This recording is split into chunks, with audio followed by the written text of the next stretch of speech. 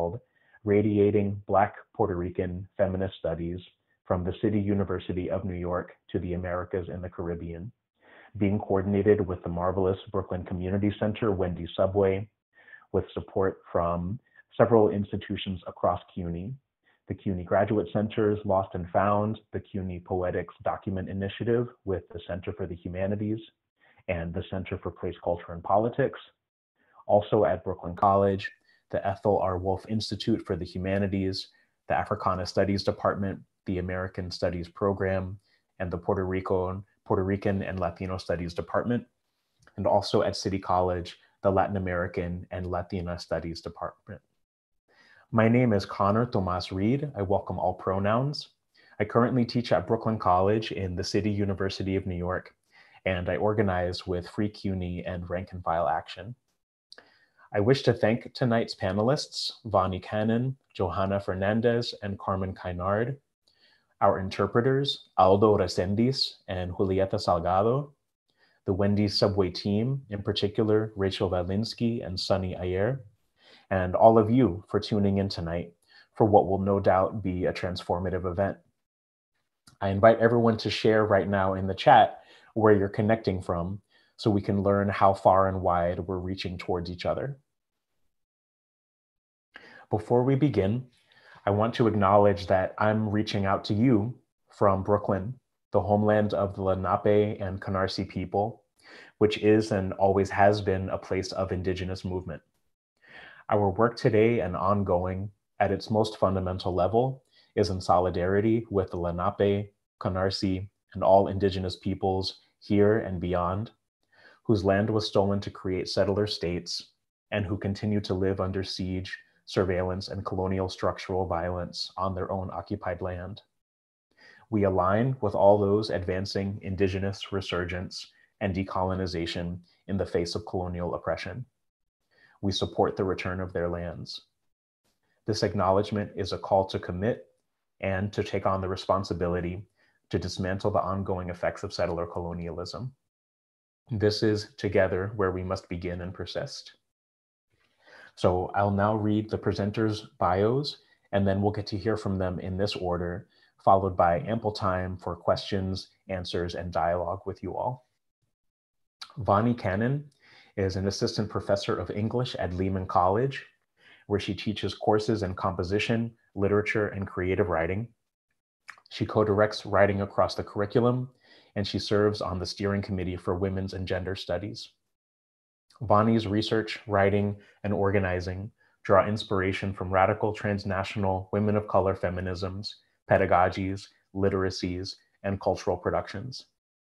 Her work on post 9 11 hate crimes and South Asian cultural politics in the US has appeared in Studies on Asia and Enculturation, an article based on her archival research on the Third World Women's Alliance is forthcoming in Writers, Craft, and Context, and an article collaboratively written with two students focused on survivor accountability and anti-racist pedagogy is forthcoming in Radical Teacher.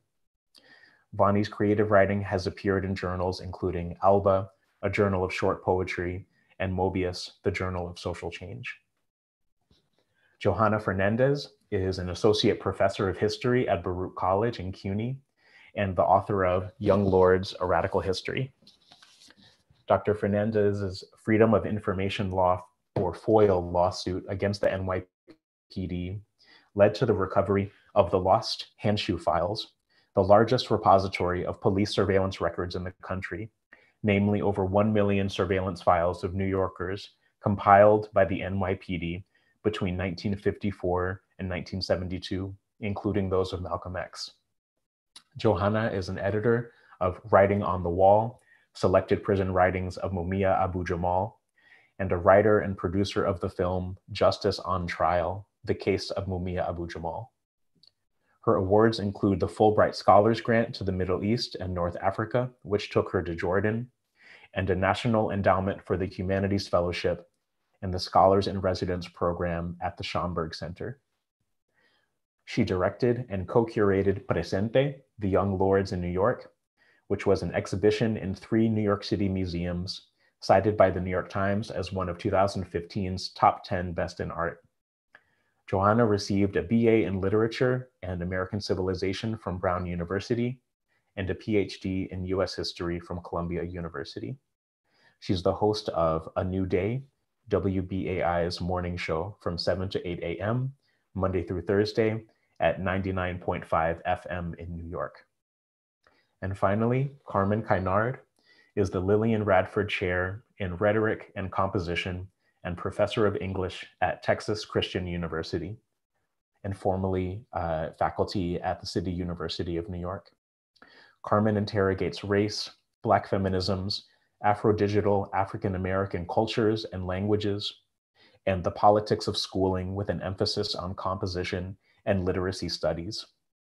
Her award-winning book, Vernacular Insurrections, Race, Black Protest, and the New Century in Composition Literacy Studies, makes Black freedom a 21st century literacy movement. Her current projects focus on young Black women in college, Black feminist Afrofuturist imagination, and Afro-digital humanities learning. Carmen traces her research and teaching at her website, Education, Liberation, and Black Radical Traditions. So now I invite Vani to get us started. Thank you so much. Um, would you mind sharing the slideshow? So it's really an honor to be here, um, you know, alongside people I really admire. Um, so thank you to Wendy Subway and to Connor for the invitation to participate. Um, I hope some of you were able to make yesterday's June Jordan Life Studies event, which was also part of the series, and I think it's now available on YouTube. Um, for me, it was really moving to think with others about Jordan's approach to teaching, like as a concrete manifestation of her political radicalism. And um, a friend, Depinder, who's here, actually um, all, embarrassed, her messaged me during the event and said it felt like a brain hug, which I felt as well during the event. Um, so I want to pick up where we left off yesterday. Um,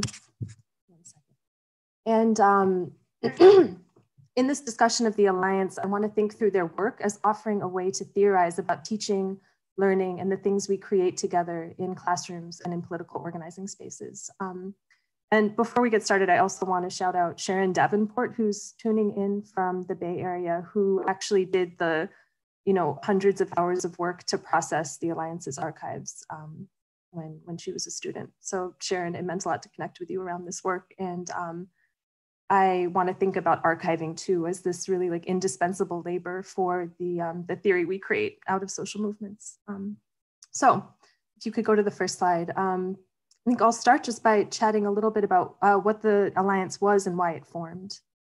Um, you can change the slide. So the Alliance was a multiracial political organization that maintained active chapters in New York City and the Bay Area during the 1970s, along with a short-lived Seattle chapter. Um, it grew out of SNCC, uh, which had long linked Black, free Black freedom struggle in the US to anti-colonial liberation struggles around the world. And out of efforts to foreground the particular violence facing Black women, including forced sterilization and lack of access to safe abortions, um, SNCC member Frances Beale headed an effort to form a Black Women's Liberation Committee within the group in the late 1960s. Then this group decided to break off from SNCC and focus specifically on the oppression of women and renamed itself the Black Women's Alliance. Um, you could go to the next slide. So this is a, an archived photo of the alliance. Um, so in 1970, out of a debate around whether to admit members from the Puerto Rican independence movement and the Puerto Rican Socialist Party, the Black Women's Alliance became the Third World Women's Alliance. Um, you can go to the next slide. And um, quickly um, um, interrupt Tony and yeah. Bring a, a, comment from the interpreter, which is just to, um, from Julieta, just to speak a little bit slower so we can. Sure. Sorry, this is a lifelong. No worries. I'll take a deep breath. Um, sure. Um, you can go to the next slide. Um, so it's just this is another set of photos from that moment when um, when the alliance expanded to become like a Black and Puerto Rican alliance. Um, so in an editorial titled "What is the Third World," um, the, the Alliance outlines its vision of liberation. You can go to the next slide. Um, so they say the concept of third world unity encompasses the struggles for liberation in the Americas, the Caribbean, and on the continents of Africa and Asia, and a commitment to the liberation struggles of African, Asian, and Latin peoples wherever they may be.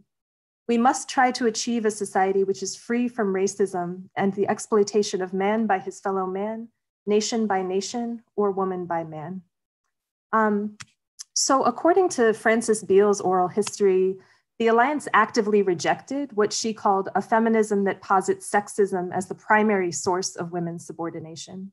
Instead, they developed an analysis predicated on the interaction of race, class, and gender oppression within an internationalist perspective. Um, so, internal documents frequently return to the theme of the simultaneity of struggle, which would later be elaborated on by groups like Combahee River Collective. And um, there were women who disagreed with the formation of the alliance and chose to remain within their original organization, such as the Young Lords, and struggle against sexism there. Um, you know, foreshadowing this long-standing debate around when or whether an autonomous women's organization is necessary in, you know, in, in leftist spaces. So you can go to the next slide. Uh, the alliance's politics of women's liberation stood in stark contrast to white middle class feminist organizations in the era.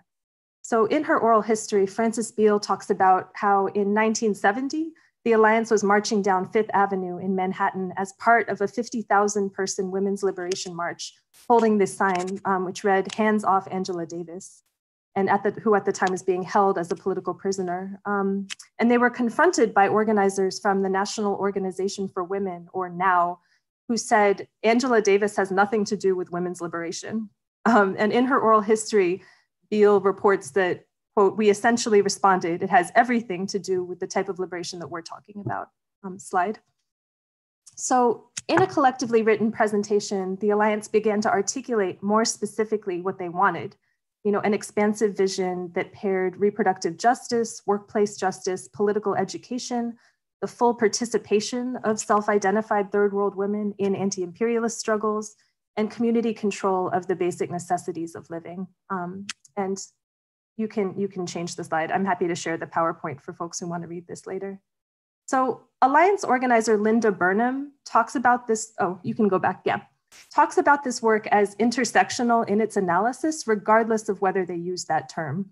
I think in another interview, she says, we, we did intersectionality before it had to be five syllables. Um, so as she puts it, some of this later came to be called intersectionality, which is a very complicated term, but the ideas behind that were formed in these early years, where people were essentially saying we're whole people and we can't combat women's issues as though we're unaffected by issues of race as though we're unaffected by the issues that face our broader communities. Um, so the, the, the, Alliance was an early, not the only, but an early articulation of this. Um, so there's some important like citational politics here. Um, you can, you can, you don't have to shift the slide yet. Um, you know, who do we credit as forming the foundations for third world feminism, for intersectionality, and other theoretical touchstones in radical education today? So, to quote an educator named Jennifer Guglielmo, who teaches with the Alliance Archives in order to ground intersectionality in social movements, um, she says, which people stand in for the founders of these ideologies and practices? Organizers are always marginalized. And I don't at all mean this as a dig at the thinkers who are typically credited for these ideas, but I think Burnham's words ask us to locate the development of this theory in the everyday, often mundane praxis of building political organizations. So, a central part of this praxis for the Alliance was figuring out ways to educate different members of the organization about each other's histories. So, M. Jacqui Alexander beautifully describes the education that must take place among self identified third world women in order to facilitate that deep understanding that's necessary to struggle together. Um, so the quote here, in Pedagogies of Crossing, she writes, we are not born women of color, we become women of color. In order to become women of color, we would need to become fluent in each other's histories. We would have to unlearn an impulse that allows mythologies about each other to replace knowing about one another we would need to cultivate a way of knowing in which we direct our social, cultural, psychic, and spiritually marked attention on each other. So when we think about the Alliance, um, it was a convergence of women of Black, Latinx, Asian, Indigenous, Arab descent um, who had organized in a number of struggles, including, but not limited to, um, work against US intervention in Vietnam, the Third World Liberation Strike, housing struggles, solidarity work with women in Cuba, um, the Chicano movement and the United Farm Workers, movements to free Angela Davis and Lolita LeBron, the American Indian movement, reproductive justice organizing, um, including you know, forced sterilization and also infant mortality at local hospitals. And in New York City, some of the early members were involved in the, um, the fight for open admissions and third world studies at CUNY. Um, so there is that, you know, that kind of direct connection to these CUNY histories. So in this moment of imagining and attempting to enact third world unity in the US, figuring out methods to put all this work into conversation you know, within the context of a radical internationalism and the material aid that they were engaging in with these women's revolutionary struggles, um, this was a primary goal of the group in their political education and in their cultural work.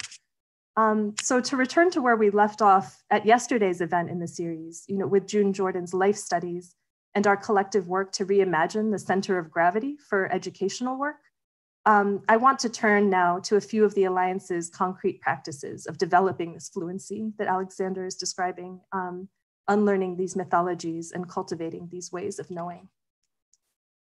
So, as many of us know, um, the movement can be a very challenging writing teacher. Uh, I think until I started organizing, I had no idea how to even think about writing a press release or an op ed facilitating a press conference, developing political education materials, creating engaging banners and chants, creating a website, you know, let alone the deep interpersonal work that goes into all of this. Um, so in Carmen Kynard's book, Vernacular Insurrections, which um, Connor shared earlier, and I think this is a must read for all educators, um, especially those of us teaching at CUNY, she refers to this type of work as protest literacies, um, you know, the kinds of education that students created for themselves outside of formal classrooms during the CUNY student strike. Um, so you can go to the next slide. You know, as Miriam Ching Yoon Louie, who's a member of the, who was a member of the Alliance's cultural committee, puts it, um, I learned to write while writing for the movement. I wrote leaflets, position papers, speeches, funding proposals, to get people to do something, understand an issue better, or turn out to a picket line. Um, Third world revolutionaries viewed culture broadly, expressed not only through a poem or song, but also through the literacy level of a people, influenced by differential access and exclusion. We tried to take a broad perspective and treat culture as core to how we live and relate to each other and the natural world. And you need things that are going to sustain you for a lifetime of struggle. How can you make a lifelong commitment and live it you need sustenance to feed you and your community. Some will come from the creative arts.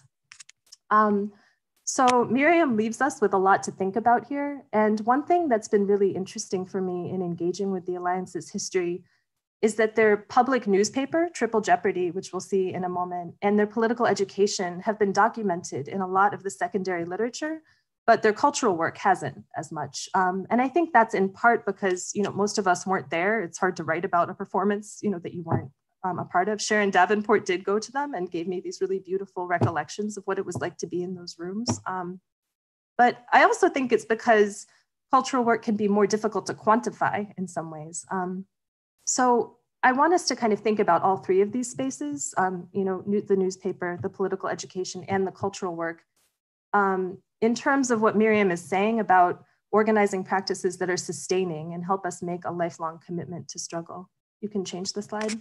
Thank you.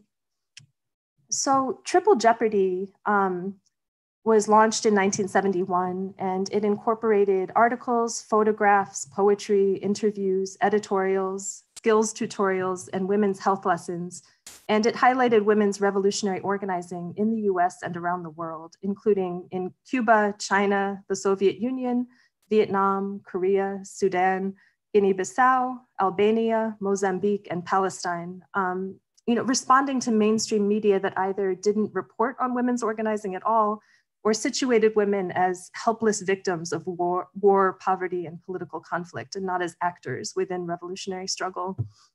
So according to internal documents, the paper was directed towards an audience of third world working class women and men with a particular interest in readers who were not already active in political organizing. Um, to reach these readers, Frances Beale explained that the paper tried to both affirm the political agency of women of color and to politicize areas of life that were often seen as outside the purview of public political action, um, such as the struggle against machismo and domestic violence, you know, things that are often really play out behind closed doors, trying to make those public and trying to politicize them collectively. Um, you can change the slide. So, and like any political organization, the group also engaged in significant internal writing as well.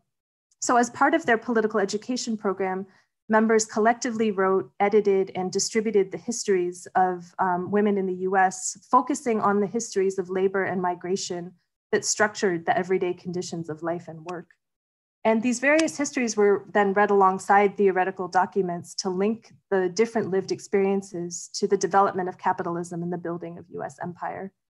Um, and according to an ar archive document, the goal of this program was, quote, not to create advanced theoreticians or brilliant researchers, but to help, political, help develop political activists who have the energy, insight, and initiative to commit themselves to a lifetime of struggle. Um, you can shift the slide, thank you. So to think about that, that sustenance and that idea of kind of, you know, generating that, that momentum for a lifetime of struggle around, um, around a group of people, um, the cultural events were really a site where that internal education went public. So um, the, the group began to hold cultural events celebrating the role of third world women in the labor movement. That was sort of how it started. But it was through organizing these events that members de developed a range of skills, which included you know, crafting principles, writing skits that taught history or depicted everyday life, creating outreach materials, organizing visual displays, and um, the so archived meeting minutes indicate that this ability to communicate intersecting histories across these multiple platforms ended up actually being one of the most effective methods for the group in refining its democratically centralized organizational structure, which is really interesting to me um, to kind of think about, uh, you know, the, the act of planning an, an outreach event as actually, um, you know, having, having benefits for the, the functioning of the organization itself if you could change the slide. Um, and the shift to, to, cultural work came in part because the group was just feeling that they needed to engage people in new ways. Um, these, this, this archive document said, we need to develop organizational forms, new ways of working that will capture the imagination of the people of this country beyond the old rally, leaflet, forum, speech syndrome. So this is where I wanna think a little bit about you know, our, our CUNY context right now. You know, for me, as someone who teaches writing, um, I want to think about what leads us from within these social movement contexts to engage in these creative forms of composition. Um, so an internal memo described these International Women's Day events as, quote, an opportunity to pick up the scattered and diverse threads of our people's thinking and present them in an organized and vital way for historical education and long-term community building. Um, it was a chance for young people to see their parents and caregivers organize, to create songs, plays, food, ch and childcare programming that put different struggles into conversation and create a joyous environment for education where people could understand themselves as makers of history. Um, they would say, you know, to, to applaud the performers is to applaud ourselves and also put geographically disparate um, struggles side by side. You know, to quote a monologue from one of the theater performances, we will not melt in your pot, America, nor, de nor decorate your houses with our beads and our culture. My address is at Pine Ridge on Ho Chi Minh Trail. So, you know, in, in the discipline I'm a part of, you know, this the, the really thinking about the teaching of writing, you know, this kind of creative composition is often fetishized, you know, engaging visuals, audios, um, creating something like a brochure. It's often fetishized and justified via this rhetoric of job preparation for 21st century workplaces, um, especially digital writing. So I think what's important to me as we think about um, you know, drawing from these histories is regrounding these in these moments where cultural work and composing in different modes took on an urgency and a clear organizing purpose. Um, so I think just I'm going to share one short story and then wrap up with with a few um, a few takeaways for the sake of time. But um, the other day I was talking about this with a, a, friend who's also an educator and shared this story about being in graduate classes and being asked to even you know progressive slash radical graduate classes being asked to prepare PowerPoints to prepare for academic conferences, you know, while at the same time I was part of a group occupying the administration building as part of the media team on the other side of campus. And where we had spent days responding to and deconstructing the administration's campus-wide emails to delegitimize the movement. And then late one night, this dear friend said, let's stop responding to them and just make a photo essay slideshow about all the teach-ins, creativity, and relationship building that's happening in the sit-in. Um, and for me, this is one of the key lessons, you know, to go back to the life studies discussion yesterday, as we think about liberatory education, that we need to understand logics of oppression and deconstruct them, but we also need to be able to shift in small ways out of that logic and into different methods of collective knowing, collective making, and drawing on the knowledges we all bring into movement spaces. Um, so just as the Alliance politicized personal experience through the articles in Triple Jeopardy, um, movements create spaces to politicize skills in new ways and collectivize them. Um, and as a side note, I learned a lot from Johanna's work on the Young Lords around how they did this. Um, so with that, I'll just wrap up. If you could shift the slide. Um, I think in terms of takeaways for thinking about you know, enacting this history at CUNY today, um, uh, one thing I'm left thinking about is the fact that, oh, you could shift it once more. Sorry, I forgot to, forgot about this one. Great, and just shift to the next one. Thank you. Um, you know, one thing I'm left thinking about is the fact that students at CUNY and at San Francisco State were demanding third world studies and a third world college, not the atomized area studies departments that we see today. So to return to Jacqui Alexander's quote, what would it mean to think about our work as hinging on a pedagogy of becoming fluent in each other's histories and struggles? Um, and second, you know, the Alliance's history helps us reorient global and transnational understandings of feminism back within a radical internationalism, um, especially in light of the institutionalization of women's and gender studies and the fact that we can now have classes in transnational feminism. And there's just sort of more and more uptake means that these things can be further and further divorced from the organizing context that they grew out of.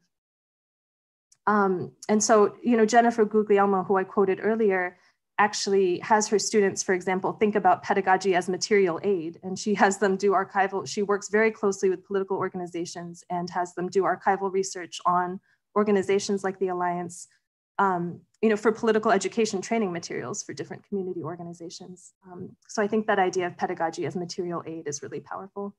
And last, I think um, there's this idea of highlighting movement exigencies, like these urgent moments where um, movements engaged in creative composition, you know, for students and in our movement spaces. So thinking about how the things we're producing or asking students to produce might more deeply reflect the histories from which we are all collectively oriented. Um, so that's it. I think there's one more slide. Thank you. And I look forward to thinking with all of you during the Q&A. Lonnie, thank you so much. Let's hear a round of applause. Thank you so much. Uh, next we have Johanna. Uh, you're up to, to share about your work. Thank you.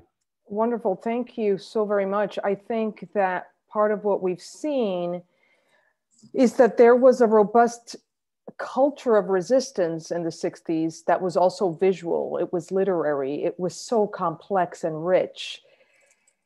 And uh, beyond the individual or the collective or the organization, that, that culture politicized people when those groups were not there. Um, yeah, it brought those ideas to life, like that visual history that you offer is just I, I, often think that that we need some of that here in New York City. Um, Oakland has has that visual political culture uh, that we that we lack. So where do I start? Um, I'll start with the present um, and say that at the height of the pandemic, there was a lot of talk of pre-existing conditions and um, that conversation was problematic because it suggested perhaps that there was something about race because there was lack of clarity in the media that made the biology of race that doesn't exist that that makes black and uh, latino communities predisposed to, to illness and to death from COVID 19. So that dialogue in the media about pre existing conditions was tinged with race ideology. Uh, and what I thought when uh, I was listening to this was that the Young Lords, who are the Puerto Rican counterpart of the Black Panther Party, more accurately um, defined pre existing medical conditions as diseases of poverty, right? Um, and I don't know if you read an article that uh, was published in the New York Times, like uh, in July of 1980. After all of the conversation of pre existing conditions, Black Americans and Latinos are more likely to have diabetes and hypertension, and therefore they're more likely to die. After all of that, there was an article and a, uh, that r- reported on a study that said that, well, in fact, the hospital that you ended up in had a huge impact on whether you lived or died. And so I think that what was lacking and what it continues to, to, to be lacking in today's uh, conversation around health is, uh, is the class uh, character of uh, health disparities and disease. Um, and I think it's important to know that the, the young lords who said essentially our hospitals are falling apart, we are frontline workers, there's no access to healthy foods in our neighborhoods, uh, we don't get enough wages to, to put decent food on the table. Um, the lack of beds in these overcrowded hospitals is what kills us. Um, they got this assessment of, of health and um, its and health crises and its structural roots from from the Cubans. That's a term that the Cubans used when they were launching a campaign to raise um, the uh, life expectancy of people on the island, literally by putting together um, teams you might know about this of doctors and social workers and specialists of all kinds to go into the rural areas, but throughout the island to offer uh, medical care with dignity to people who had previously not um, not had access to it. And that's exactly what the Young Lords attempted to do in neighborhoods like East Harlem and the Bronx um, in the 1960s. Above all, with others of their generation, they argued that healthcare is a right, a human right, and that um, racism uh, plus healthcare for profit creates a human rights catastrophe. And, and that's, that's kind of the pretty basic thing that that we need to amplify in this period. And I'm starting there because I was asked um, to, to reflect on the Young Lord's activism as, as it might uh, in, impact what we're thinking about and doing today. More on this issue. So I, uh, the book was published this year uh, in the middle of the pandemic. And interestingly enough, I think I've spoken more to doctors than to any other group. Uh, and I don't think doctors themselves are aware of this because, of course, doctors undergo this very rigorous training that forces them to be very singularly focused on what's in front of them. So they're probably uh, being radicalized in ways that they don't understand. And I say this because I suggested that in a meeting, and people were like, "Oh, really? You think so?" Um, and I'm also reminded of the work of Erich Fromm, Escape from Freedom, in which you know he says that you know part of our problem as a uh, as a species is that we're not especially um, intelligent emotionally to our detriment in our struggle toward freedom, because freedom then becomes this very uh, dangerous and fearful thing that we want, but we, we fear. Uh, in any case, that's, that's a side note. So Um, I've been thinking about this, why doctors have been um, radicalized, but not just doctors, the entire country around this issue of health. Philosophically, uh, what distinguishes Homo sapiens from, from animals, according to anthropologists, in part, is that uh, we engage in abstract thinking, and that's that's seen in these mortuary ceremonies that the first Homo sapiens engaged in, or or at least the ones we uh, we've discovered that that there is a, a profound um, a profound concern and homage to life in death. And that's what makes us human. One of the things that makes us human. And part of what we saw in our society that's clearly uh, in the process of civilizational destruction and decline is that there was no respect for human life in the middle of the pandemic. And doctors were at the forefront of that macabre uh, algebra that, oh, oh snap, they, when human beings are most human, uh, the state is willing to let it all go to pot and let it all, go to hell. And that's part of the reason I think that the world sat and looked at this catastrophe, especially us here in New York. Um, we were emotionally radicalized by, uh, by, by this macabre reality. And so were doctors who were at the front lines.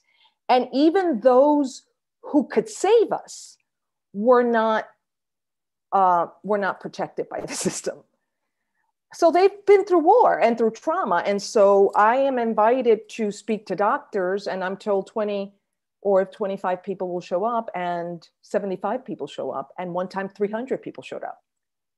Doctors and people who work in hospitals. So that is a site of struggle to be explored um, in this period.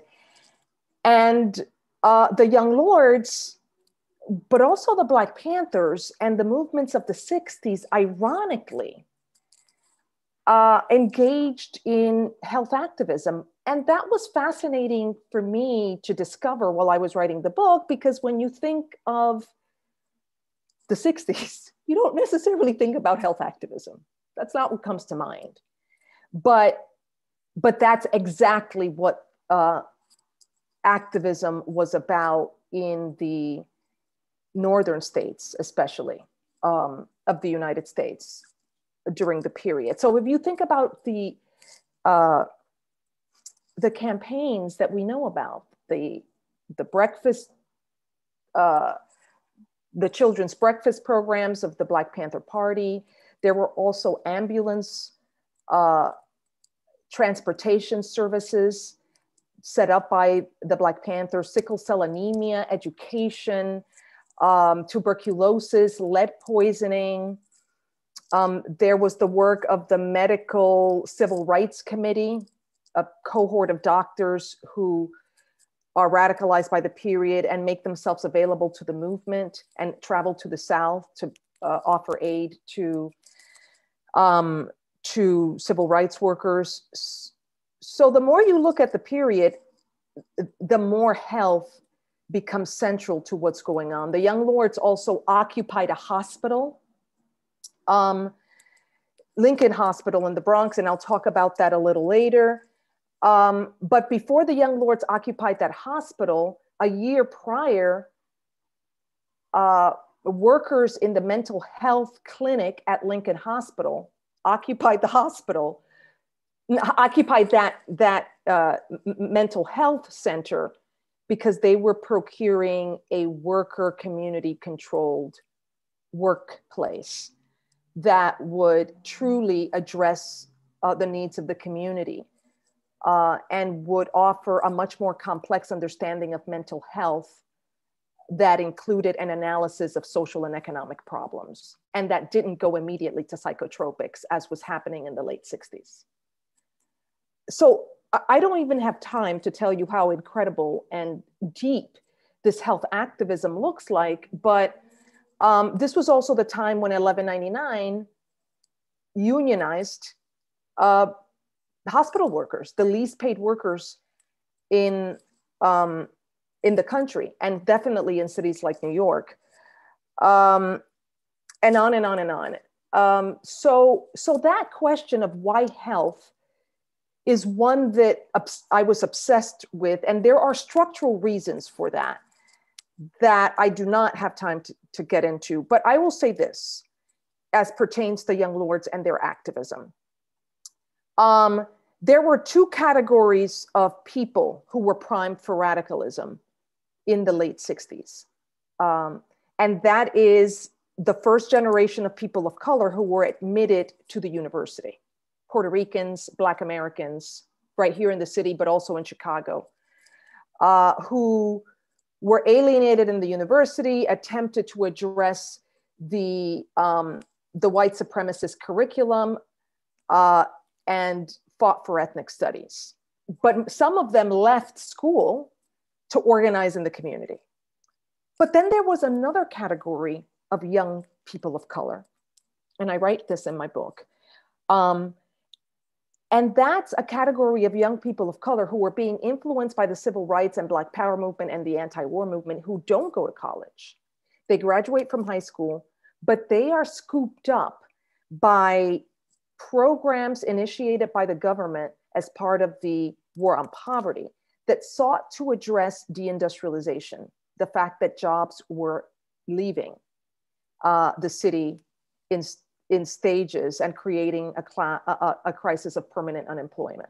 That begins in the 60s, really immediately after World War II. And so, given that there's this um, ups, the swelling of demands for economic justice, there's there are small programs that are attempt to address deindustrialization by creating um, technical training for kids who are not going to go to college, but who are going to go straight into the work mar- to the workforce. And the hospitals become a place where young, mostly Puerto Rican and Black American young people are trained. They become medical technicians of sorts.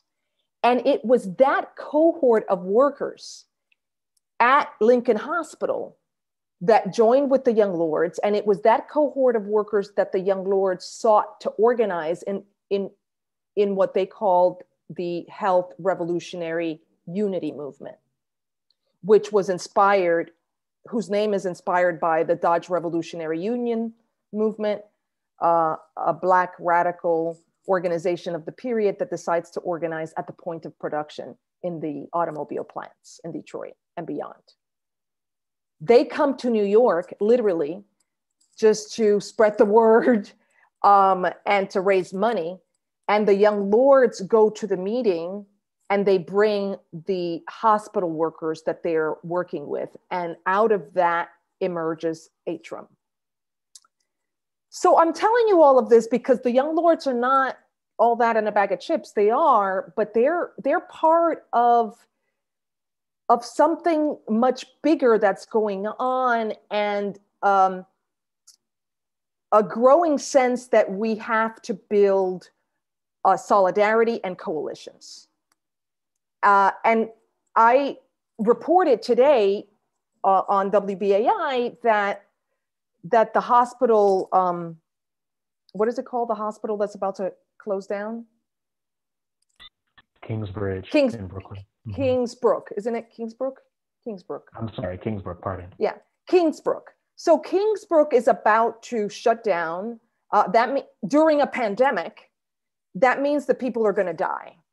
Um, and there's an attempt to consolidate three hospitals in Brooklyn's poorest neighborhoods, and 200 beds are expected to be lost as part of this process. This is this is macabre. This is that same thing again that we have no respect for life. In this in in, in this um, society in the middle of, of a pandemic. Uh, and and what was important about the period was that the young lords took over a hospital to amplify the horror of medical care in the Bronx among Black American and Puerto Rican patients, but also to amplify this new thing that was new only because it was more um, more pervasive, and that's medical discrimination. Because the contact between these uh, public hospital and large medical institutions increased. The contact between these large institutions and people of color increased as a result of the um, expansion of Medicaid, but also the fact that with suburbanization, guess what happens with suburbanization? The fact that white folks are leaving the city to the suburbs en masse. Mom and pop doctors also go.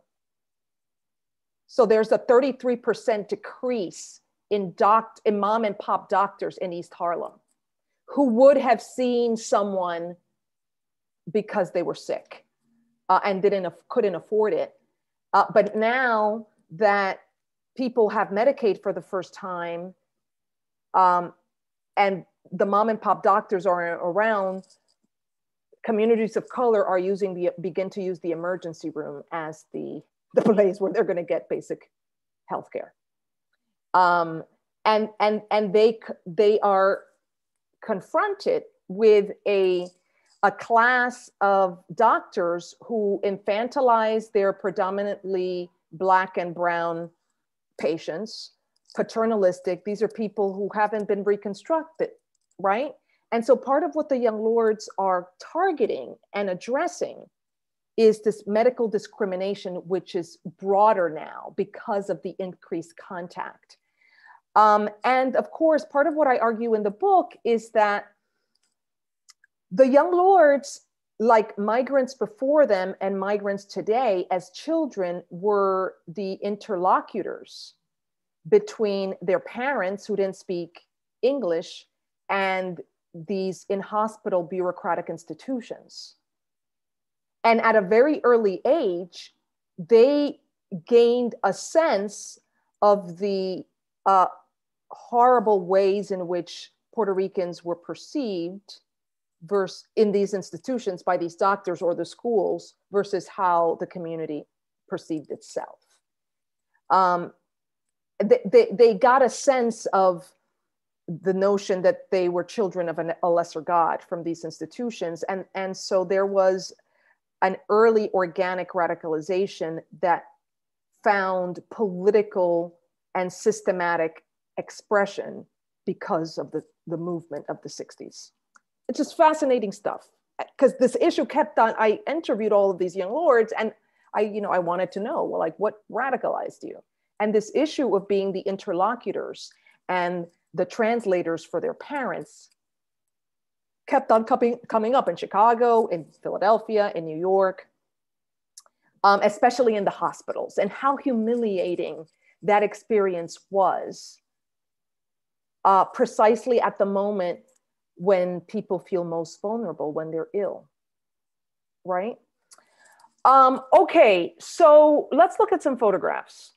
Um, uh, uh, so how, what do I do here? I do hear this. Yeah, there should be a sure. little green yeah. share button. Okay, got it. Um, Perfect. Okay, great. Uh, and I want to go to slideshow and I want to start from the beginning. Okay, so the Young Lords are, they're influenced by the moment, the civil rights movement, the women's movement, the gay and lesbian liberation movement, but also the Vietnam War. Um, and uh, they they are inspired by the Black Panther Party. The organization emerges in Chicago as a reformed gang. And part of what I argue in the book is that there were Puerto Rican students here in East Harlem who were looking for um, a, an organizing agenda. But it really took a gang in Chicago to um, make common cause with the most demonized, hated radicals of the period um, for us to be talking about the Young Lords today, right? The Puerto Rican students in New York, uh, they didn't think, well, why don't we just get down with the Black Panthers? In part because we know that uh, migrants don't often associate or want to dissociate from Black Americans for reasons that we don't have time to talk about. Um, so it really took a gang in Chicago of Puerto Rican and Mexican youth who were radicalized by the period, and that transformation from gang to political organization was orchestrated by uh, Jose Chacha Jimenez, the, the leader of the gang who was imprisoned and radicalized in prison, not unlike Malcolm X. Um, but when the gang took that bold decision that uh, cut the cord of middle class respectability, which is also a product of migration sometimes, um, it captured the imagination of young people in New York. And the Young Lords form part of the Rainbow Coalition that we don't have time to get into now. This is uh, uh, Miguel Melendez, one of the founders of the organization here in New York, who was a student at SUNY Old Westbury. Um, so they were self-proclaimed revolutionary nationalists who believed that Puerto Rico needed to be free. That's Felipe Luciano, the, the founder, uh, not the one of the founders, but the chairman. Um, so Puerto Rican liberation was at the forefront of their of their uh, efforts, uh, but they were also socialists, self-proclaimed socialists who believed that class was critical to um, the fight for human liberation and that capitalism was the problem. And like Fred Hampton said that if we don't get rid of capitalism, racism doesn't have a snowball's chance in hell of ending. Um, and it was at that moment when uh, these Black radicals started talking about the haves and the have nots and joining together uh, with other people across racial lines on the basis of class that all hell broke loose and they became public enemy number one. I'm going to talk a little slower influenced by the Cuban Revolution.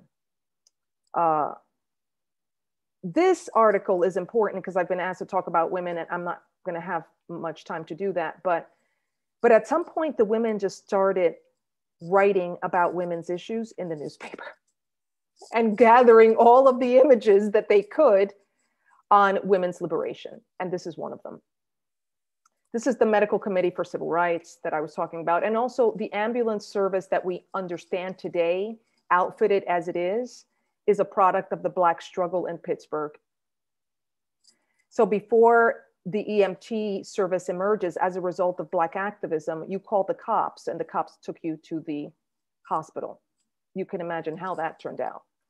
So Black people, some of them Black Panthers, decided, oh, why don't we just transport people to the hospital? at the same time, at around the same time when white doctors were trying to figure out how to provide care outside of the hospital to save people's lives, they got together and outfitted the first EMT truck. Fascinating history. Um, so the Young Lords do an enormous amount of work around um, health, issues of health, and they land at Lincoln Hospital. At Lincoln Hospital, they spread to the Bronx because they've been very successful in Manhattan, where in East Harlem. And Lincoln Hospital is known as the butcher shop of the Bronx. It was uh, christened the butcher shop by Jewish immigrants uh, decades prior. They also took over this chest ray x-ray for um, TB and christened it the Emeterio Betances health truck, uh, revolutionary Black Puerto Rican doctor. Uh, the hospitals belong to the people. Uh, here they were working with Youth Against War and Fascism. Okay, so this is what they do. And this is what's incredible. So the Young Lords are important because they were building the movement and a grassroots um, campaign everywhere they went, but they were also building a revolutionary party, something that is not always easy to do. It's a rare thing. So they were trying to do both. We're going to build a revolutionary party, but we're going to be grounded in um, the community, in grassroots organizing, and we're going to build the broader movement of which we're a part, the New Left.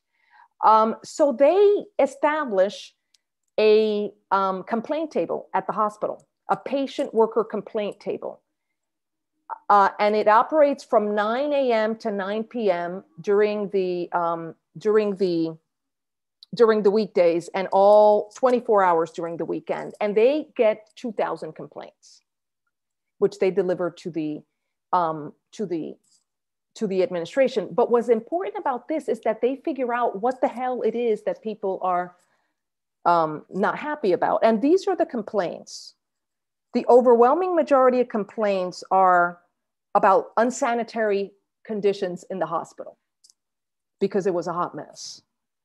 The language barrier for non English speaking patients, the failure of doctors to explain medical information to their patients, and the backlog created by the scarcity of doctors, um, and the five to six hour waiting period in the emergency room. A big issue that came up was racism. Do, we, uh, do I have to wrap up? Um, a big issue that came up was racism, the racism of the doctors who infantilized patients and didn't explain anything to them and didn't even look them in the eye.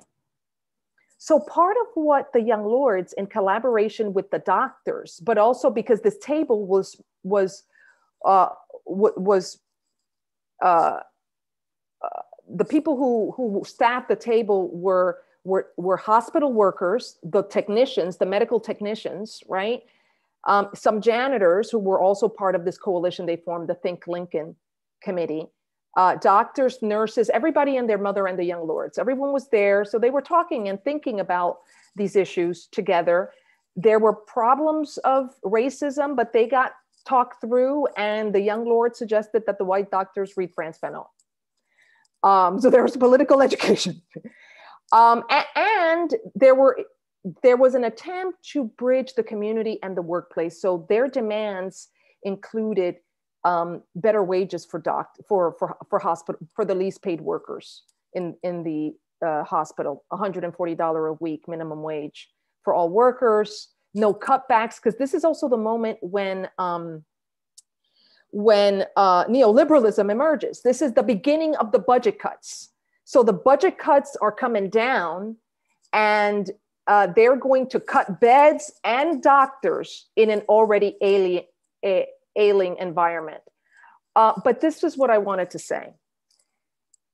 So, because they're so intravenously connected to the grassroots and talking to the community and to workers, they realize with the doctors, and the doctors come up with this, they come up with this together that let's address this issue of racism and discrimination or the fact that you know we're unreconstructed but we need to get better at this by um, calling our patients by their last names and greeting them upon entry into the medical office or the room.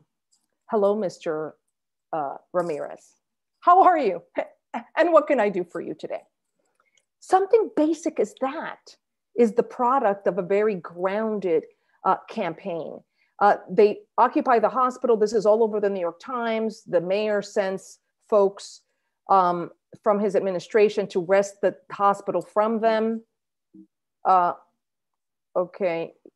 Uh, this they find these things, these um, sterling rock salt bags in the hospital when they take it over, and they decide to use them to block all the doors so that the cops don't come after them. They had a whole thing planned out about what they were going to do with the cops.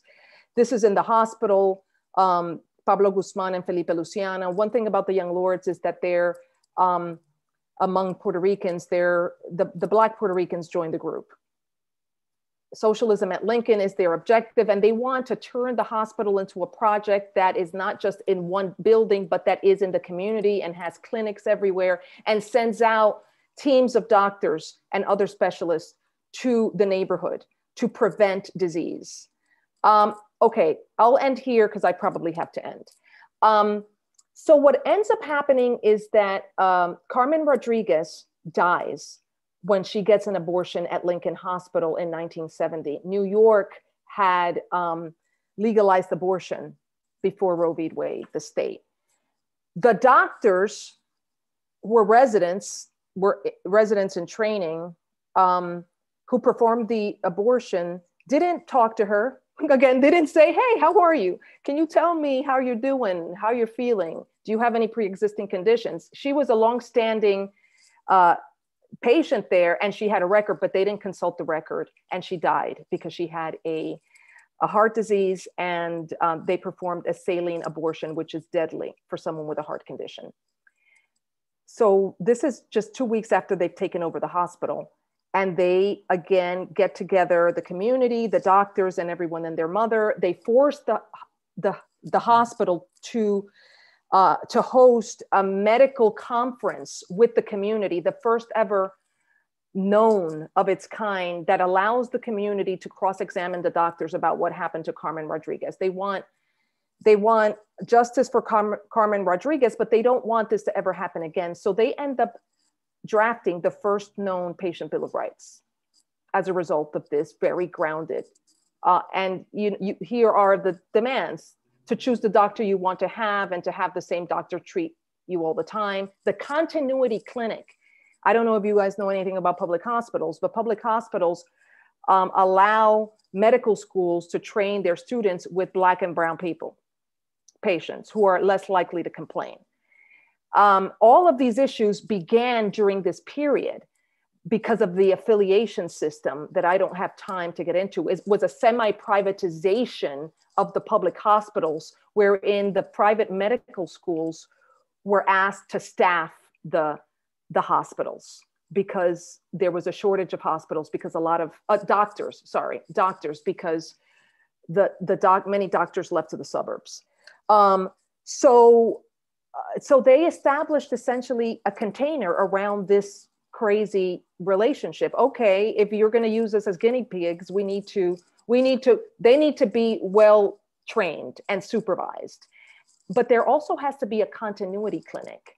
We can't see a revolving door of doctors all the time because it's terrible for our health. So the continuity clinic which is something that all medical students recognize today as an important thing is a product of the struggle at lincoln hospital with the young lords and the doctors um, so much more to say um, the visual culture is absolutely incredible as you can see um, uh, this is their newspaper, Palante. Uh, again, political education tool. And I'll just end by saying that uh, hospitals are like the third or fourth or fifth largest, a big employer in the country. Um, and we saw that uh, and an important space. We saw that we saw that the, the nurses and other hospital people were at the forefront of a fight back against um, policy around the pandemic. There is a profound um, campaign ready to be born in the hospitals because of the radicalization of the last period.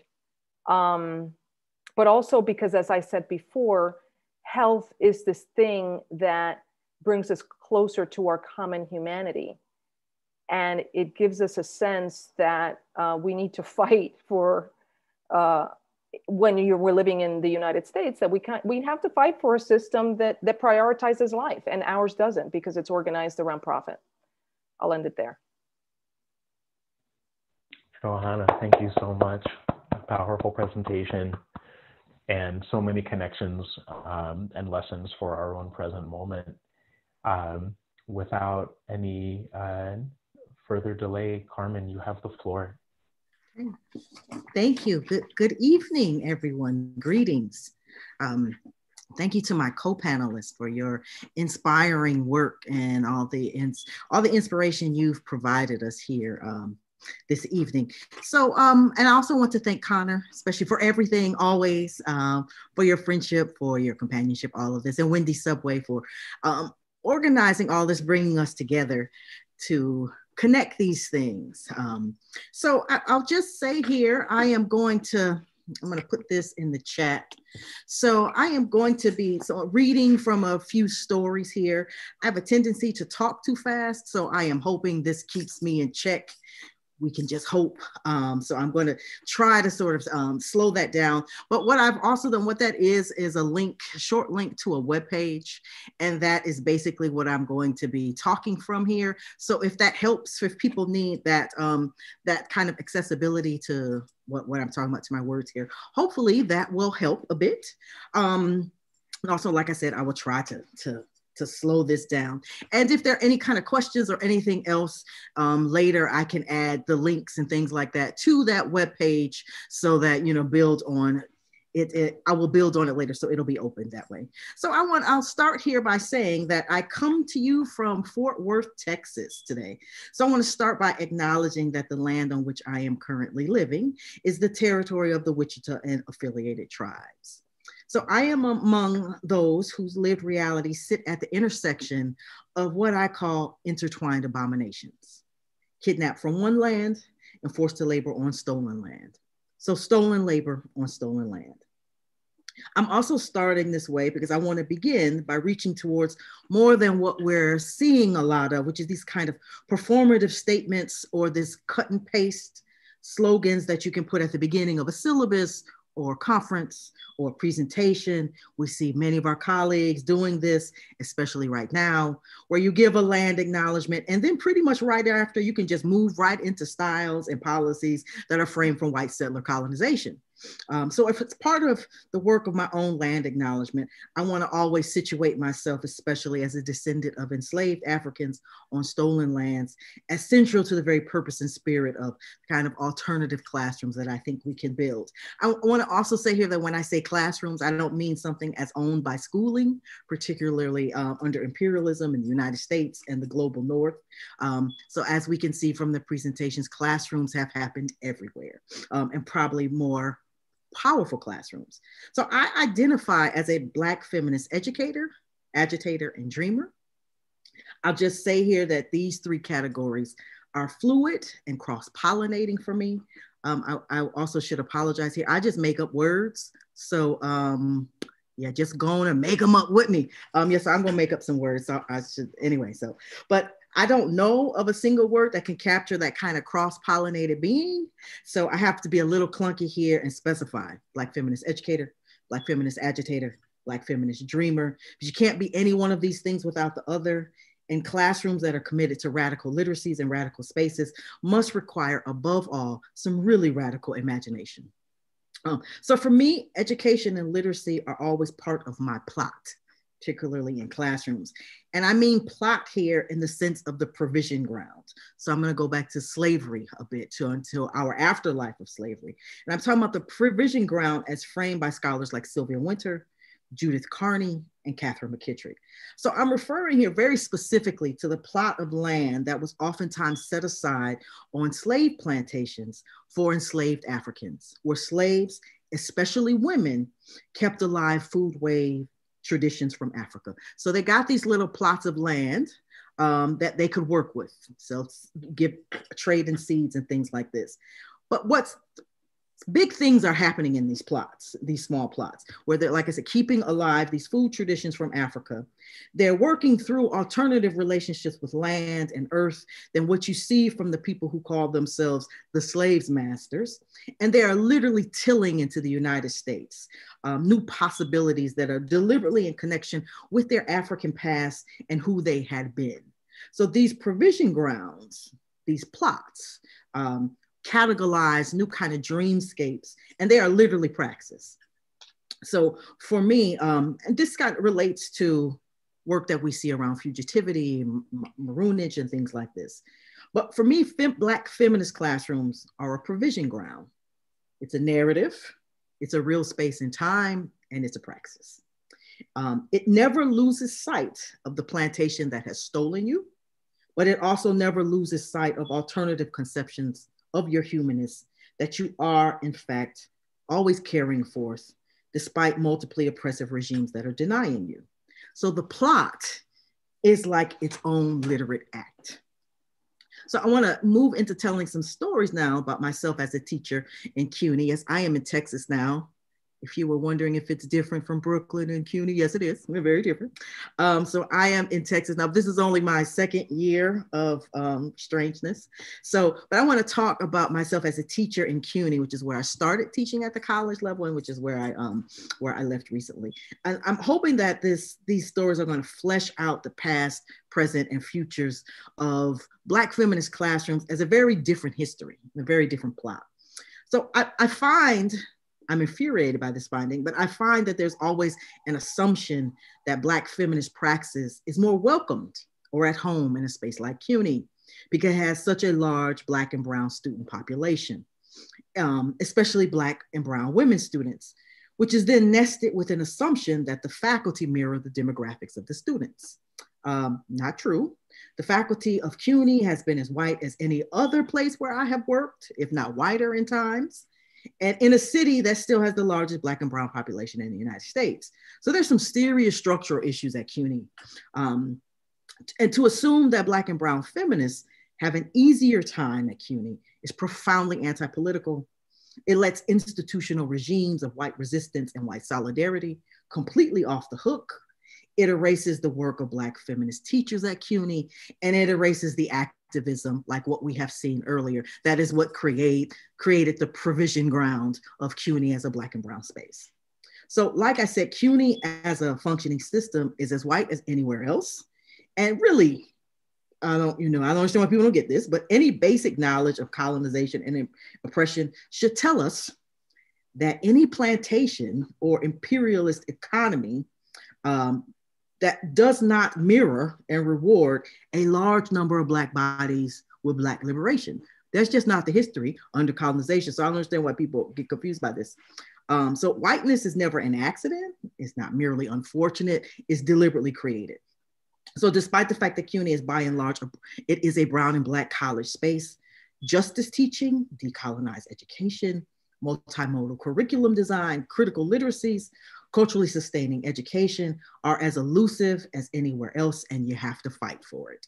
Um, in fact, it has often seemed to me that critical pedagogical possibilities had been even more choked out, given in because, and I'm always get in trouble for this. Um, my resistance to these kind of institutional insistence everywhere that these types of students, and that's the language that I've given constantly, need a back to basics grammar-based instructional mode focused on a close reading of the white classics alongside technical job placement. Um, and this history of what we've seen and these young people suggests, makes that actually ludicrous. Um, and in terms of pedagogy and higher education, you really just can't get any wider than that kind of sentiment. But Black feminists at CUNY have not forgotten these aspects of the plantation economy of schooling, not even when CUNY insists that it has done otherwise, is doing otherwise. And that lies the radiating power. I'm sort of drawing from the um, from the, the title of our session tonight. So here's this very specific story I, I want to share today. So this is about two years ago, not quite two years ago, ago now. I was on this college-wide curriculum committee, which meant amongst other things that we vetted all the new courses for the college. Um, so this gave me, I guess a good part of this was it gave me access to course content the, at the college that I really otherwise did not have. So you get these just these syllabi and these um, course proposals from everywhere. Um, like most committees, this one involved incredibly tedious bureaucratic processes that meant long ass meetings that have could have been handled in more interesting and less time consuming ways, all for the purpose of what I call bourgeois pageantry of importance. Um, you know, like what I think are very typical public displays of white plantation life.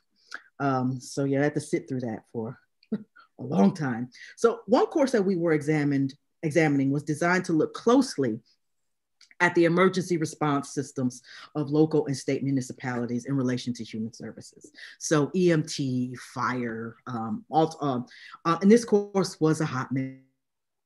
Um, so the content flowed from the professor's own textbook that students were required to purchase and represented mm-hmm. issues related to the nation state, terrorism, counterterrorism, how that got in there, I don't know, but it was in there, um, and municipal services. But it did it in a way that used this kind of textbook speak to mirror the most conservative white nationalist ethos of our time. Um, it was stunning. And the instructional model took the form of a kind of vocationalism um, that mostly quizzed students on the lecture content that matched this textbook. So the conversation on the committee never really interrogated the content because the content on this kind of committee and, and really all the places where I work, content is regarded as faculty expertise, as academic freedom. So you don't touch that, you don't question that. Um, so almost all of the committee's discussion was centered on pedagogy.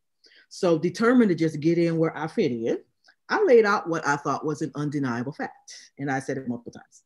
That basically this was an upper division course geared for college juniors and seniors with a curriculum that looked almost exactly like that of the 1980s vocational high schools that had dotted my own childhood in Ohio. So I'm gonna rewind that back for you real quick. So this was an upper division college class at CUNY that looked like a 1980s vocational high school course that, that was specifically designed for racist segregation in the Midwest. And you should know here that all of those high schools that I'm talking about have since been closed and they're no longer in operation. So I said as much and I kept saying it. Uh, I was not popular, but I kept saying it. And the highest ranking administrator in that setting agreed with me. But she then explained to me that this course was a big improvement from the way that things had been. Um, yep, she said it, an improvement. She must have seen the look on my face because then she started breaking it down more for me. And according to her previously at the college, students just attended lectures. They took quizzes on the lectures um, with content that was even more offensive, and then submit a paper at the end of the course. And for most of them, students wrote one major paper in their first semesters of college and used that one same paper for all of their classes for the entire duration of their college years. That was just how things used to be. And so the argument went like this this new course presented on this bureaucratic ass committee that echoed 1980s Ohio curriculum for racially segregated vocationalism was a huge improvement. So I want to just reiterate here that these were the words of a high ranking administrator who passed the class through these bureaucratic process, processes and has since been promoted at the college. Meanwhile, this history of racially segregated curricular vocationalism was used quite literally as the measure against which we see progress in the education of Black and Brown New York City youth at this particular CUNY campus. So again, I'm not talking about a long time ago. This is less than two years ago. So now, though this example might seem to border, border on absurdity, because it was certainly absurd for me, I assure you that this thinking is quite typical in many ways. Um, and for the purpose of our time together today, I want to just state the obvious here and note that this kind of racially segregated curricular vocationalism has never been a Black feminist education at CUNY. Um, but I want to dig a little deeper than just that. So if, if this scenario that the administrator gave is the litmus test against which all advancement gets measured, then really anything with a pulse could count as change and improvement. Uh, and that's just not a coincidence. Um, so I want us to see the ways that universities make a pernicious investment in a white racist linear progress narrative that will tell you that things for you are better and parade in the absolute absurd if and whenever it needs to make its claim of progress against you. Um, it does this consistently and it does this perniciously.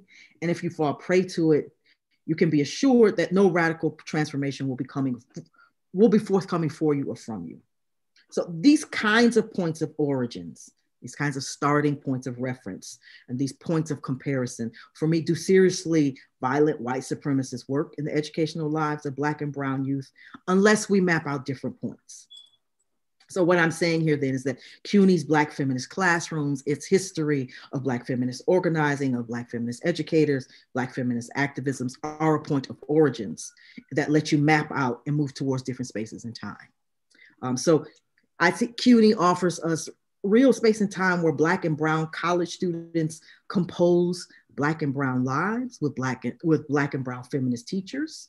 Um, women like Audre Lorde, June Jordan, and Toni Cade Bambara.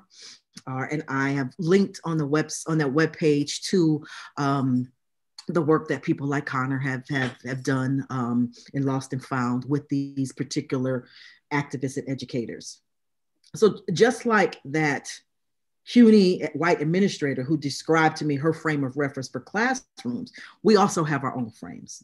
After all, Audre Lorde, and here's the irony, Audre Lorde taught at this very college where I had this conversation. So clearly, the, the white administrator's historical narrative is not the whole or entire paradigm or entire history at that campus, because um, her version is not what Audre Lorde's students were composing in their classes. So, what what I'm I'm really interested in when I think about classrooms, when I think about teaching, when I think about the activism that we've listened to, that we've heard about, is as I want, want to ask, I want to constantly ask myself and ask us a question, the question of, so, so what if the Black feminist classrooms of Audre Lorde, June Jordan, and Toni Cade Bambara were our point of reference today in the curriculum meetings of our minds and spirits? What if they're the reference point? Um, what if we framed and narrated such Black feminists as the origins of 21st century classrooms in and out of CUNY, in and out of the, the traditional classroom? And what if they were so much our point of comparison? It's that comparison itself had to even just dissolve away, since after all, I think we'd be hard pressed to write a narrative that we have that we've progressed and improved on the education of Black and Brown youth. Um, that unless we're just going to consider a white supremacist narrative. So, what if these Black feminists were so close to us in our teaching and with us in our classrooms that they become us and we become them? So, th- these are the kind of questions that I want to leave us with. Um, these are the things that, for me, Black feminist literacies and Black feminist classrooms compel us to remember all the time and in all the ways about the work that has always been happening in the plots on the provision ground. So I'm going to bring that back to the provision ground and say that what um, these histories that we have, these histories that we're looking at, has given us new plots, um, new ways to narrate, and new ways to do things. So that is that's it. That's my time. I will I will close with that, and then we can open up to some discussion. Right on, Carmen. Thank you so much. That was so powerful, and I am deeply grateful that uh, everyone uh, tuning in, that you were here to witness all of this brilliance that has been brimming uh, in each and across these presentations. And um, this is, we have plenty of time for questions, for conversation, comments, um, just to share a couple of things, um, thinking across the three presentations. Um, the the work of uh, becoming, the work of, um, as Vani had uh, quoted M. Jacqui Alexander, we became women of color. The question of um, becoming uh, radical CUNY educators and educators in our communities relating to Black and Puerto Rican and third world feminist struggles, thinking about fluency in each other's histories, um, thinking about pedagogy as material aid to movements, also thinking about this question of the radical development of Black and Puerto Rican and third world youth that uh, Johanna had shared uh, some of his history about these two tracks of youth going into CUNY schools through struggles to uh, um, desegregate CUNY admissions, but also these different kinds of technical training or social aid programs that brought them into hospitals. So thinking about hospitals as a site of struggle and health activism and then Carmen sharing questions about um, uh, on the flip side of this, this kind of banking model, vocational schooling that persists today can produce a kind of labor segregation inside the classroom and a kind of white racist linear progress that's actually against uh, Black and Indigenous and Latinx and Caribbean and uh, Arab and Middle Eastern Pacific Islander students, um, that these are the stakes of our conversation. So um, I wanted to uh, offer a couple of those uh, links in, in the constellation of what people talked about tonight. And really, this is now the time to hear from uh, people in the audience. So if uh, folks would like to jump on the mic to be able to share uh, a thought or to share a question, then feel free to put your name in the chat as I just uh, modeled, or you can put some questions in the chat as well and then I can read them as we go. So, but this is a, a time for, for collaboration. So I'll, look forward to, to hearing from folks what's coming up for you.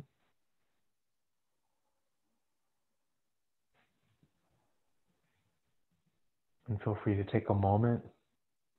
I'm seeing Yolande sharing, really loving this reframing of the land through Black feminist pedagogies and classrooms as cultivating new plots of soil to cultivate decolonized minds, selves, and ways of knowing.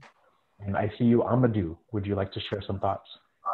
Yes, I wanted to ask, you know, about uh, the Lord's uh, activist uh, group that was operating during the 60s. Are they still, is that group still in existence or it has uh, disappeared and maybe been replaced by even more vibrant uh, activist groups? Mm-hmm. And maybe we could get to hear a couple of questions. So there's one question about whether the Young Lords are still in existence or any relationship to current activist groups. And I want to invite if anyone else has questions or comments, feel free to share them in the chat or feel free to jump on the mic to, to be able to reflect together.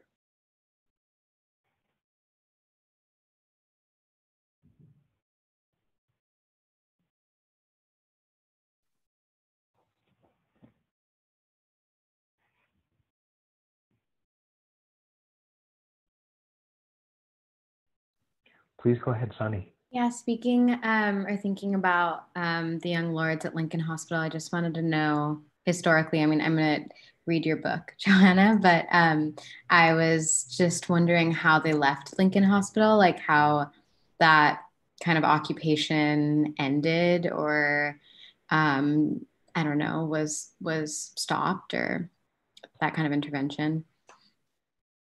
That's a great question. Uh, the start of uh, direct actions and also the ending of them. And I'm also seeing uh, Dr. Maria Perez Gonzalez from Brooklyn College's uh, Puerto Rican and Latino Studies Department. Can Vani and perhaps Johanna elaborate on the part of the Third World Women's Alliance that Puerto Ricans and the Young Lords opted out or were being considered? So maybe we can take a couple questions together.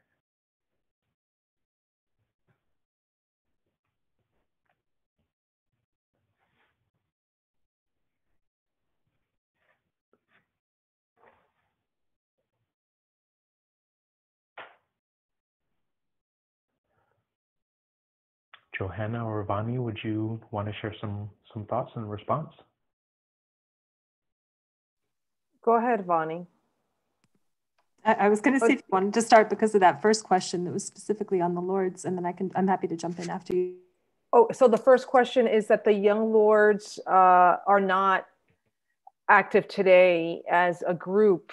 Uh, like the Black Panthers, it was an organization of the period that was eviscerated by um, COINTELPRO. Um, so those organizations stopped existing, at least the Young Lords, by about 1974, 75.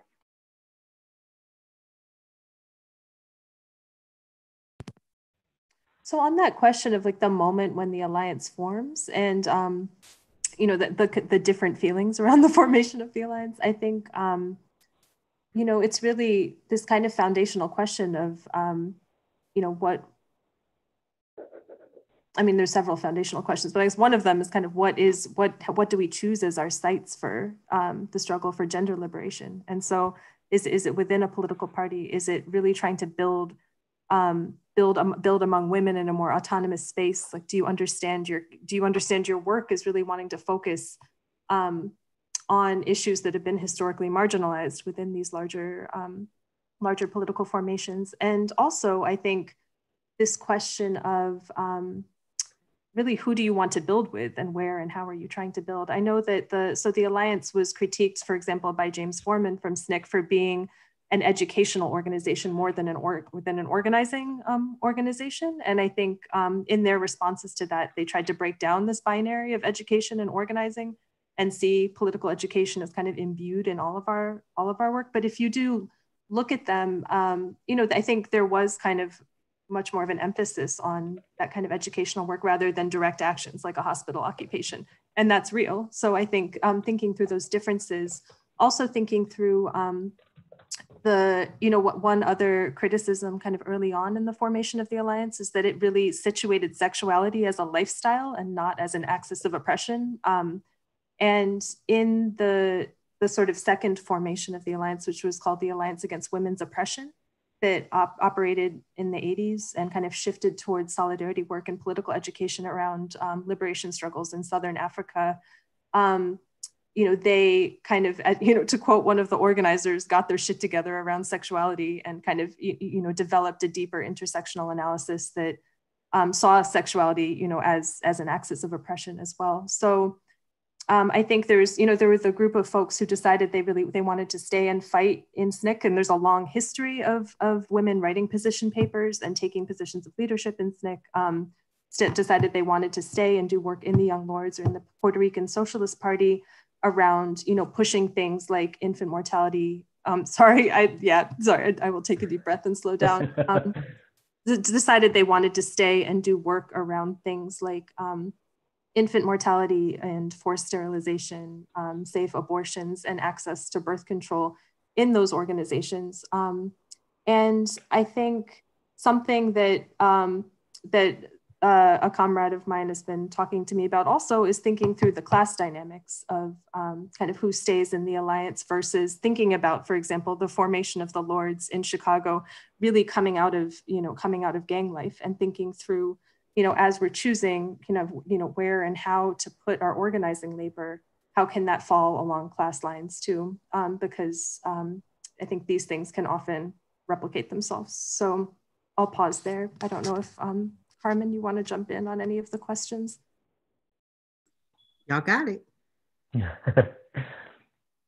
I'm seeing uh, uh, Ya also share some thoughts. Um, this is a great transformation that Young Lords and the Third World Women's Alliance groups have created to eradicate the mindset of racism that existed before.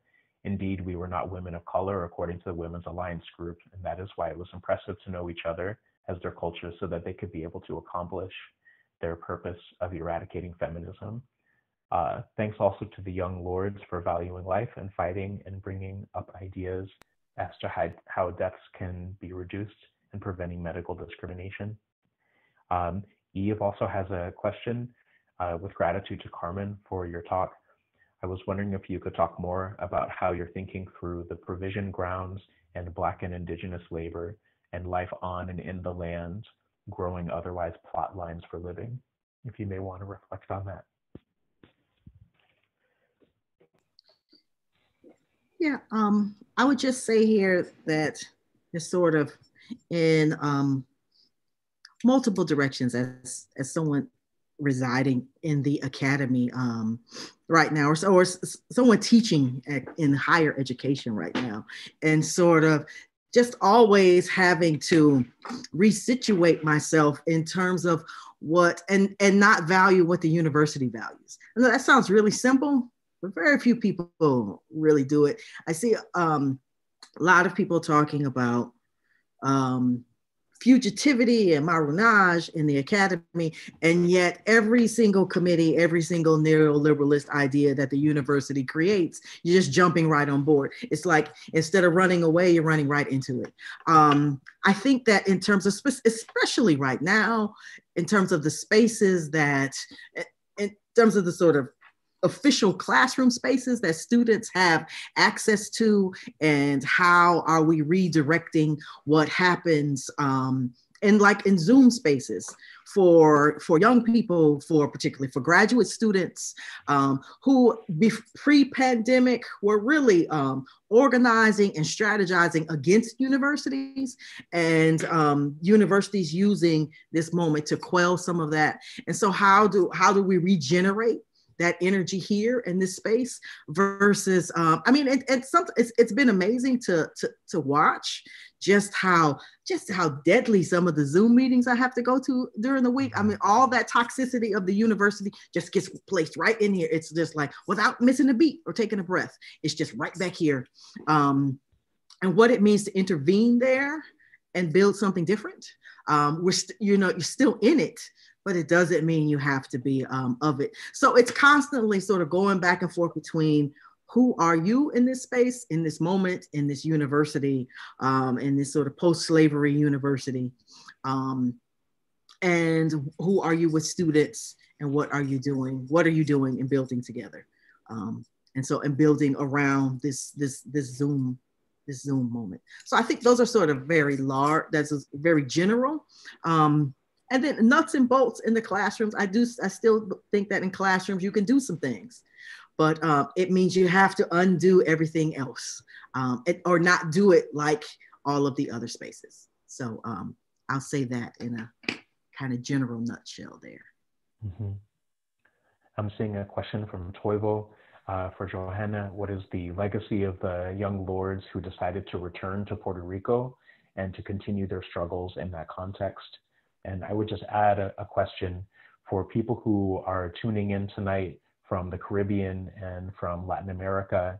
Um, how can these struggles around uh, uh, Black liberation movements, Puerto Rican liberation, Third World liberation in the United States um, be able to have a, a, more hemispheric character in thinking about colonial schooling, thinking about uh, the role of social movements across the hemisphere. Um, another question to throw into the mix. Um, I, I, wanted to ask answer the question: How did the uh, how did the occupation end? But in thinking about Carmen's remarks, uh, I I'm on sabbatical, so I I've not had to deal with with teaching on Zoom. Oh my god! But but what I think Zoom has done is that it has broadened access to the university beyond uh, beyond the brick and mortar.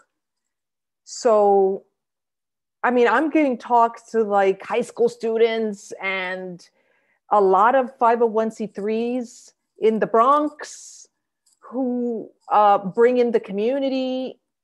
So it's, I mean, I think that uh, that Zoom is is creating a culture of learning beyond the university that's robust that we don't yet understand with all of its problems. Um, and interestingly enough, I think what ends up happening with this expansion of education is that the university itself retains its old structures and doesn't want to let them go, which is what I imagine is going on. But but some other revolution happens that ultimately is going to call into question the university. I imagine um, the, the the university seems seems kind of behind a few behind the times uh, in terms of its relationship to the world. Anyway, I just thought I was thinking about that when you were speaking, Carmen. Um, how did the uh, how did the occupation end? Um, first of all, the Young Lords occupied the hospital again with others in November. In fact, November 11th or 10th, I think, is the anniversary this year of the uh, 1970 occupation second that ended up producing the first um, drug treatment center to use acupuncture uh, in the treatment of those with um, drug dependency. And that's it was revolutionary then and it was almost criminalized but now it's the practice across the world. Um, the uh, there were millions of, of uh, it was a complex struggle. Uh, some conservative doctors went out on strike in protest of the, the activism. And uh, whereas in the past there hadn't been any police activity in the hospital now what it led to was an increase in in in police activity uh, in the hospital that circumscribed activism and the same thing happened in the schools so it's in 1969 that police are introduced into the schools in new york precisely at the moment when there's all this activism and it was liberals who presided over that policy um, and there's much more to be said. Um, but what they left behind was this uh, uh, this culture of struggle that they added to, and also this patient bill of rights, which was so so important and we take for granted today. And um, translation, the idea that you need by law to be offered a translator when you see a doctor. Um, the work in Puerto Rico was difficult. It's the subject of my last chapter. It's complex. The young lords turned to Puerto Rico prematurely without um, even speaking, many of them speaking the language. And uh, I'm convinced that that premature move to Puerto Rico was influenced by COINTELPRO. And ultimately, the, the move to Puerto Rico um, stretched the organization beyond its capacity and led to more um, repression and the ultimate decline of the organization. Uh, in Puerto Rico, the Young Lords encountered an enormous amount of class prejudice, race and class prejudice on the part of the Puerto Rican Socialist Party.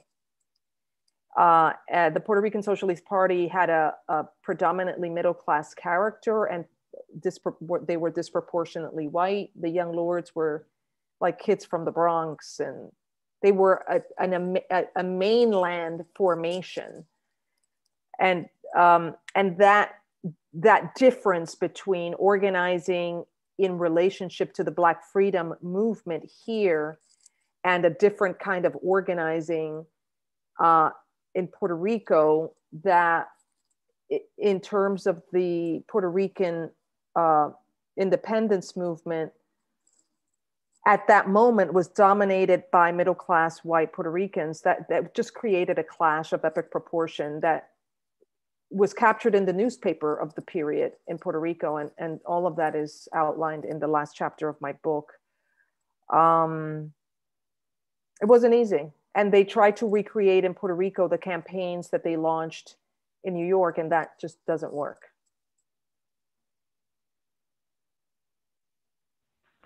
Thank you, Johanna. Uh, thinking about another connection between Puerto Rico and the CUNY system, while uh, Black and Puerto Rican students were talking about desegregating and decolonizing the CUNY system, also challenging the existence of the Reserve Officers Training Corps in Puerto Rico at the University of Puerto Rico uh, campuses. There were these massive protests against the ROTC, and um, Puerto Rican student struggles were seeing their work as in alignment with the Vietnamese, including communications with the Vietnamese uh, student uh, liberation unions. So uh, very much lessons to learn from Puerto Rico as well as hearing um, these uh, this icy reception of the Puerto Rican left when the young lords arrived. Um, and I'm seeing uh, a question from Violetta. greetings from Rutgers, a question for Vani. Um, this aspect of collective testimonial writing in Latino and African American anthologies like this bridge called My Back. Um, how they have conformed a revolutionary language that educators and writers can appropriate and transmit. How can we organize collective writing practices in classrooms and coalitions between writers to build anthologies like the ones in the 60s, where women did not feel isolated because of these intersectional collectivities where they all shared their structural oppressions? And what new genres and writing practices, forms of coalition building are available now for writers and educators? And Eve was also asking about the question of how humiliation can become a transformative space of activism um, in for with regard to young lords and their interactions with doctors. Um, so perhaps a last couple of thoughts from each of the presenters before we wrap up um, at 8 p.m. Thanks so much, um, Violetta, for that question. I think I'm, I'm thinking right now about how um, you know, when I encountered this bridge, it was in that context of kind of institutionalized gender studies that I was talking about earlier, where it wasn't until I went to a panel with some of the um, some of the writers from this bridge that I got a deeper sense of the context out of which it emerged. Um, you know, thinking about the fact that for years before that anthology came out, women the women in print movement i mean people were forming collectives forming publishers moving into collective houses writing feminist children's literature writing queer literature that they were then like sneaking into university mail systems because it was still illegal to to um, to uh, send anything over state lines in the U.S. that that could be read as queer. I mean, this was still in in the Comstock Comstock laws, and so thinking about that context, thinking about the fact that many of the women were political organizers, thinking about the context that, um, you know, a few people have gotten institutional positions or become paid organizers and, and been able to um, kind of sustain a life. I, re- I remember Cherríe Moraga saying on a panel, look, a lot of the women in that anthology, you know, didn't live very long. like there's, you know, to Johanna's point, there were health issues, there's environmental racism, there's the stress. Um, and so for me, that context was so crucial for understanding this bridge and its and its power, but then the risk of that power and context being stripped from it and kind of how it's taught now and how it inhabits institutions now. Um, and so when I think about that, you know, I think anthologies are still, I mean, anthologies are still, you know, obviously people are doing really powerful anthologies. Um, but I, when I think about um, this question of how we how we might do this work now, I don't know, in a creative writing class I teach, we always do a class anthology at the end, but it sort of left me with this question about how you know where is that work that coalitional thinking and work happening now? Um, for better or worse i think it is in digital spaces and on social media. I think there's limitations to this.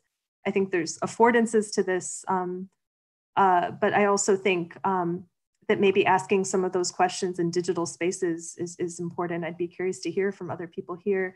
And it also makes me think about audience and kind of who deserves to hear and to read these stories and how that's also, you know, I think that a lot of that story sharing can happen in um, interior spaces, but it doesn't. And I think there was something re really revolutionary about this bridge making that public. But I think that work happens a lot in ways that aren't necessarily made public. Um, so that's how that's how I'd end it. I would love to sit and talk with people about how they could see, you know, some sort of, you know, collective publication functioning now. I think it would, you know, in an era where there is more digital publication and where some of these radical anthologies have been kind of in, institutionalized, I think that there's it's it's a really dynamic conversation. Thank you so much. Thank you. And welcoming Carmen and Johanna, if you have any final reflections for us.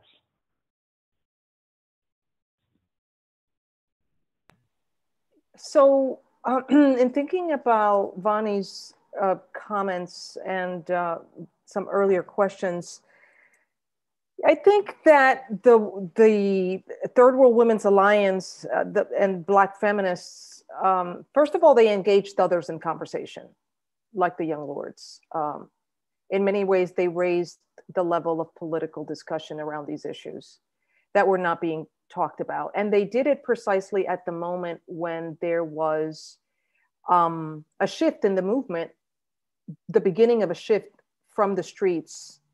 There was a decline in the mass character of the movement. So I think uh, that was very important work. And it was uh, strategically um, important to use the um, the theoretical and political advances of the period at the end of the period to consolidate its lessons around black feminism something that hadn't really been talked about thoroughly or theorized right? So so that was important work. That was activist work. It wasn't in the streets. In fact this was a moment when people were in, leaving the United States in search of um, greener pastures abroad, like the Young Lords, but also the Black Panthers, because reaction was was here, was upon us. Um, so you could argue that that whether they knew it or not, the Black feminists were were responding to something and consolidating knowledge that we have today. Now, the Young Lords wrote about all of these issues, the women in the newspaper, and they had their news, uh, uh, uh, a, um, a newsletter called, uh, called, I forgot, I, I had it there. Um, I forgot what it was called now because my, I'm drawing a blank.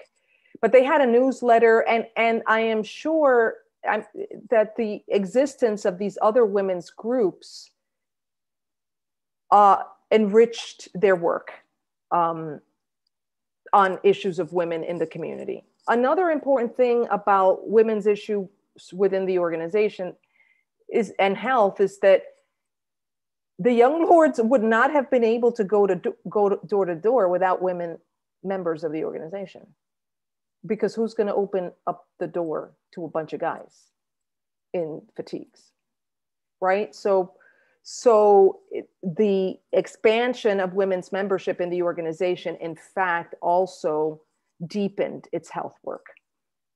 Um, and then there was an, a last question. What was the last question? Oh, humiliation. There, um, there have been a number of questions. Humiliation. Um, I'll yes, you know, I think that that that the 60s are important for all kinds of different reasons. One of which is that within the left, it asks the question for people of color, for women, who am I? And what's my relationship to society? But also, how is oppression and exploitation manifested in my life? and how uh, and how is growth, political growth for the new society, um, part of the work that I have to do internally to decolonize uh, myself. So that's a personal question, right? Um, that that forces us to acknowledge or come to terms with vulnerability, humiliation, because of patriarchy, sexism, racism, um, and the ways in which class uh, exploitation and oppression is manifested in the relation, our relationships, for example, between the doctors and the young lords and the paternalism, both because of racism and class that might have been uh, at work there.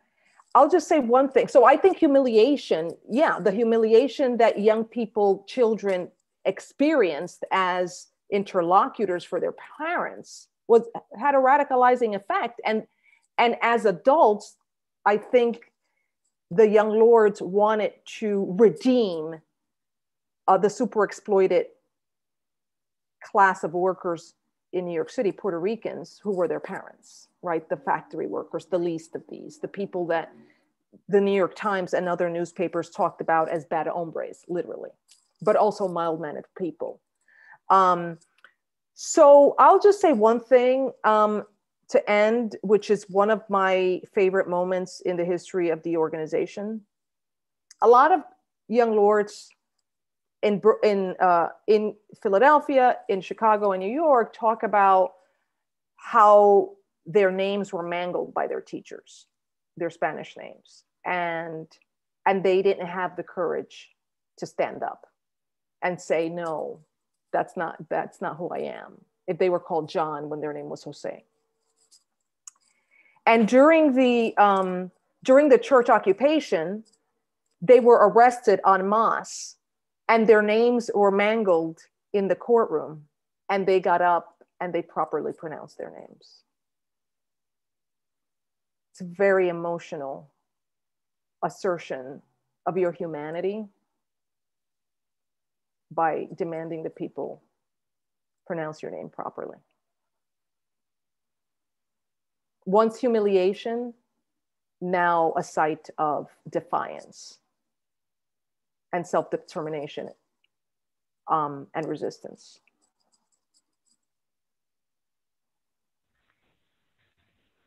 Thank you for that.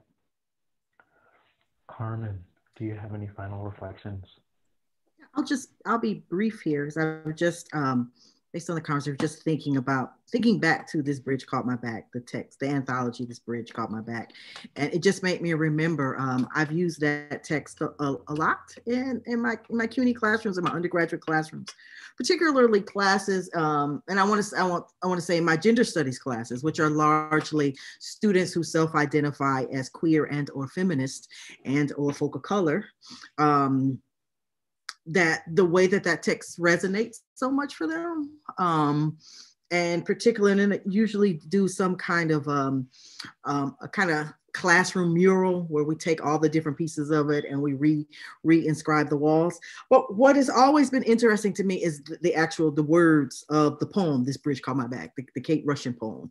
Um, and so I'll just read the last two quick stanzas here and, and think about why why so these young people at CUNY who I'm talking about um, gravitate to these words so much in light of everything we've said. So that those last two stanzas are the bridge I must be is the bridge to my own power. I must translate my own fears, mediate my own weaknesses. I must be the bridge to nowhere but my true self, and then I will be useful. So I'll close with, with that, with those words. Thank you, Carmen. Everyone out there, let's give another round of applause to Vani, Johanna, to Carmen. Ashe. Also want to give gratitude to Julieta and Aldo for interpretation, to Sunny and Rachel with the Wendy's Subway crew. Um, so um, a couple of events that are coming up as part of this residency on November 20th, reading Audre Lorde in community with the Audre Lorde Reading Group. Also on November 30th, translating Audre Lorde Now with friends who will be tuning in from Cuba, from Mexico, also from Germany. Um, also want to encourage everyone to stay connected with Wendy's Subway on social media and at wendysubway.com, where you can find out more info about this residency, including a featured readings list for future studies. And if you wish to share this event recording or to view yesterday's event about June Jordan, then you can go to Wendy Subway's YouTube channel as well. But for now, I encourage everyone to take care and to stay healthy and to continue this learning and liberation work out there. So thank you all so much and tremendous respect. Good night, everyone. Thank you.